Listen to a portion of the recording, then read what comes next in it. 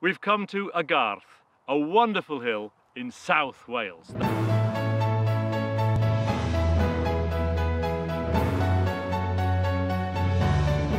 The landscape here is teeming with history, stories, legends and people of faith.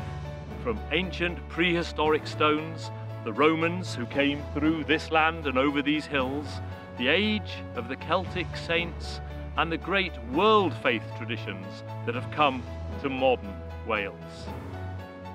We live in an amazing part of the world and this coming year we're joining you for a treasure hunt in the landscapes of faith. 4,000 years ago people came to this mountain to bury their dead.